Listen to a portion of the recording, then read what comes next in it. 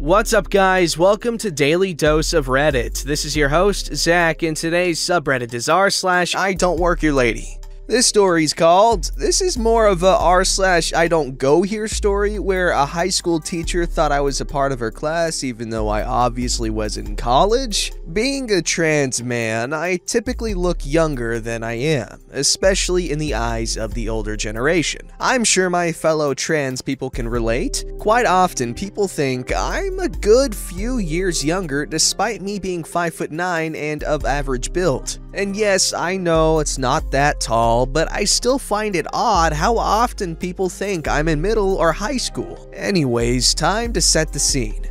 I've been out of high school for a year now and attend college off and on when I can afford it. This story takes place during winter break, so I should note that being Canadian at heart, I'm actually warm wearing a t-shirt and shorts in 19 degree weather. I just don't get cold. Moving on. After I had finished the semester at my college, I moved back into my parents' house so I could save up enough to get a place of my own. I ended up moving back out after a month and a half. Close to my parents' house is the high school I attended, which has an amazing track that I love running. It is only closed to the public during games. Since school was in session, when I arrived, I parked across the street in order to not complicate things and noticed the track was empty except for three adults jogging peacefully. So I entered the area dressed in shorts, sneakers, and a thin polo shirt. Before you ask, yes, this is important. My shorts and my shirt both have my college's logo on them and it's fairly obvious. To give you an idea, both the shirts and shorts are a dark solid color and the logo is a somewhat large mascot outlined and in some areas filled in with a bright color. This is important because even though I may look young, I am still wearing college attire and not a part of a sophomore class. Back to the story. I put my earphones in and started running with music blasting in my ears. Fast forward about 10 minutes, one of the adults left, and soon after, a class came walking down and entered the track. I didn't recognize any of the students, but assumed they were sophomores. The teacher, however, I recognized, but I never had her as a teacher, nor did any of my high school friends. I just turned the volume up on my music and continued running as they stretched in preparation for the mile. I kept to one line in order to stay out of their way as I leisurely jogged. I was running to just run with no intention to push myself, but I couldn't help myself in challenging some wannabe jocks. At one point, I stopped by the bleachers where I had placed my water bottle for a break and to catch my breath. It was then where I felt someone watching me. When I turned slightly, I saw the teacher and gave a polite smile before I continued to drink. But then she started making her way towards me. Not really wanting to talk to anyone, I pretended I didn't see her coming and set my bottle down before running again. I felt slightly bad about it at the moment, but I wasn't in the mood to converse or take my earbuds out. When I came back around the track, she was still staring at me, but this time she did not look pleased. Whatever, lady. I'll be gone soon anyway, I thought to myself, and continued running, figuring her problem was the fact that another guy and I were on the track with her students. Nope. I noticed that quite a few of her students had finished their mile and were waiting on some of the slower ones to finish. Remember when I mentioned earlier that I was entertaining some of the wannabe jocks by racing them? Well, this one student who was finished with the mile jogged up next to me and asked if I wanted to race. I agreed, and to this day, I don't regret it. We turned around and went to the starting line that was painted on the track.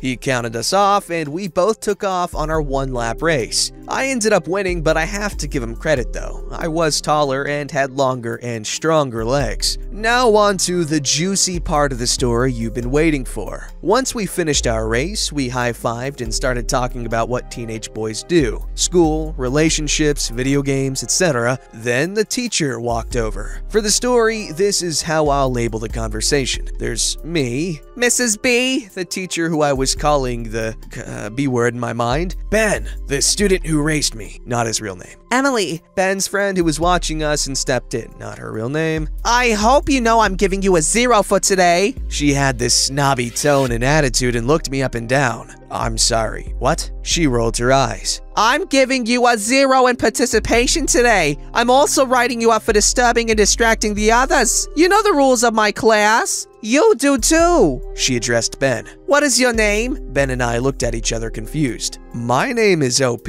but I'm not quite sure I understand. I stayed in one lane and there are others. She cut me off. You know the rules. I went over them at the beginning of the semester and once more before coming out to the track. I looked at her like she grew two heads. If I was wearing something other than my college attire, I could understand if she mistook me for her student seeing how it was the beginning of the semester for this high school, but I wasn't. I was wearing my college's logo, and even though this class didn't have a firm dress code, I was still dressed differently than the rest. Ben caught on. Mrs. B, uh, he isn't in our class. He. Don't cover for him or I'll write you up as well. She turned to me again. I tried to give you a warning earlier, but you ran off and then you didn't report back to me after you lazily ran your mile only to have a race and to stop the other still running. Once we get back to class, I'm sending you to talk to the principal. Now, I know the principal and was on good terms with her when I was a senior, and briefly thought about playing along to see how things went, but decided against it because I didn't want to risk Ben getting in trouble. I'm sorry, uh, Mrs. B, is it? I'm not in your class. I don't even go to this school. I'm in college. I tug at my polo slightly to draw more attention to my college's logo and name. Ah, I'm not as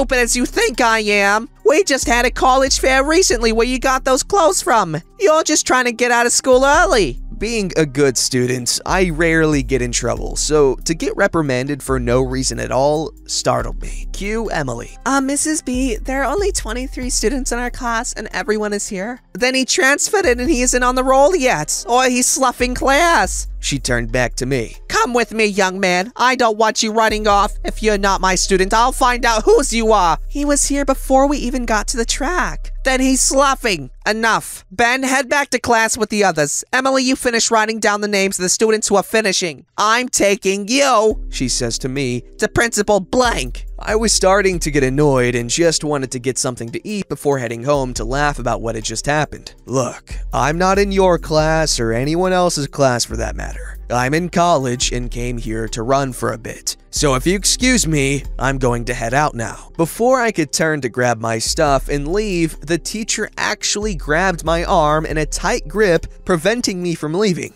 Somewhat startled, I jerked and tried to yank out of her grasp. I'm not letting you leave in slough class. I'm calling your parents. I'm almost 19. Everyone in your class is most likely like 15. I'm in college. Let go of me. I literally have no class to skip out of. Emily and Ben both haven't left, but were keeping their distance in order to not anger the teacher more. Furious that she had grabbed and still was holding on tight, I pried her hand off of my arm and quickly put distance between us.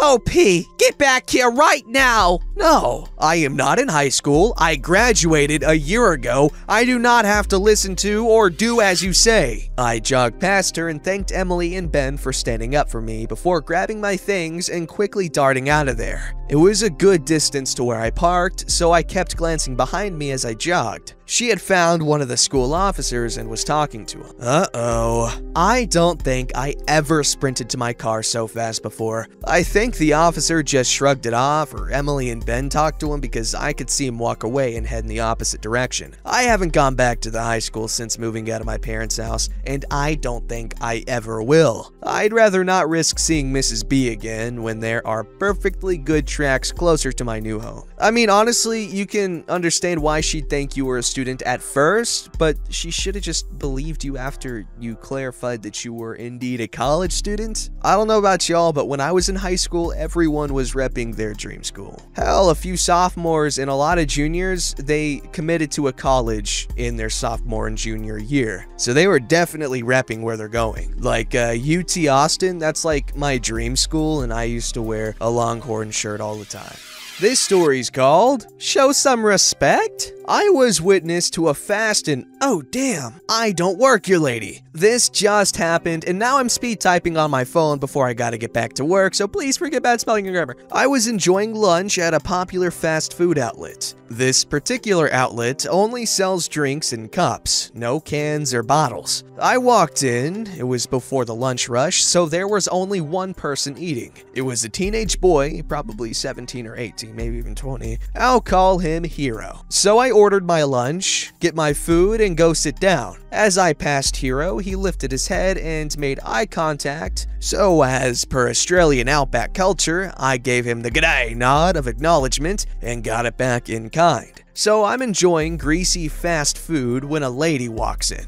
Hate it when ladies walk in. She looked like Miss Trunchbull from Matilda except three times the size and looked as if she hadn't showered this side of 2010. I kid you not, she was a real piece of work and once she spoke, I knew she was as ugly on the inside as she was on the outside. Trunchbull says, Give me two burgers, extra meat, no lettuce, two large fries, extra salt, and a large Coke. Real Coke, not that watered down, sugar free crap you sell. Make sure the chips are freaking full. And because I'm not getting lettuce, you better not charge me for extra meat.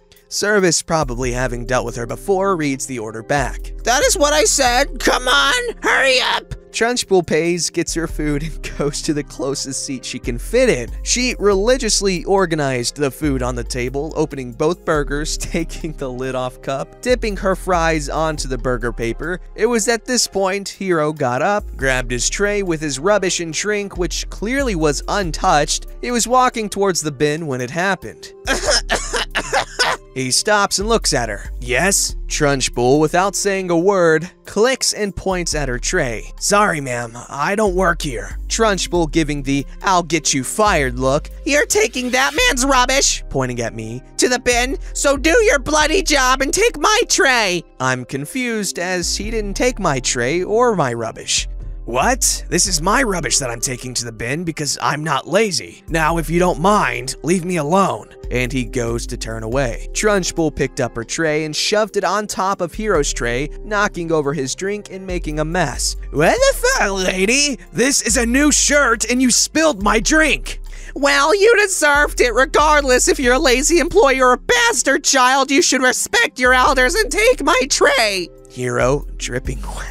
Well, as I don't work here, I must be a bastard child. As a bastard, I got no problem telling a cow that respect is earned and not given. The only respect you're getting is the respect you have shown me. With that, he threw both trays towards her, knocking her drink across the table, soaking her burgers and fries before spilling onto her lap. She screamed. Management runs over to assess the situation. To speed over the encounter, Trunchbull plays the victim and tried to lie, blaming Hero. Hero explained what actually happened. I backed Hero up. Management banned Trunchbull from the store, saying this isn't the first time she has antagonized customers. She left on her mobility scooter before police arrived. I got a $20 store credit, Hero got a $50 store credit, and an apology from manager. On my way back to the office, I saw Trunchbull standing next to a police car crying. Oh, how good it feels to witness karma. First, we gotta start off by saying, um, Matilda, lovely movie. When I was a little bitty kidderino, I used to have the biggest crush on Matilda. And uh, now that I'm grown, I now know that the real person to, you know, have a crush on is Miss Honey. Am I right, guys? Like, come on.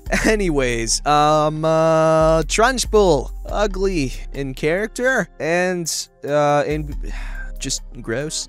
This story's called Today I Fudged Up by Trying to Shower at My Mom's House. She has crappy plumbing. I'm traumatized. I have been going through an extremely unbearable week. If you don't believe me, check my posts. To add insult to injury, I've had to stay at my mom's house for a couple of days. She has really messed up plumbing from some butthole plumber that took her money and ran off. She has never really taken care of her house, but I don't have a place to go. We only flush toilets when we absolutely have to. I have diarrhea. I had to flush. I also had to shower. I am supposed to be seeing my newborn son today. As soon as I stepped in, it started gushing. Poo absolutely everywhere. I panicked and jumped out, but the damage is done. I am disgusted. I changed and tried to clean myself off, and now I am trying to bail it out.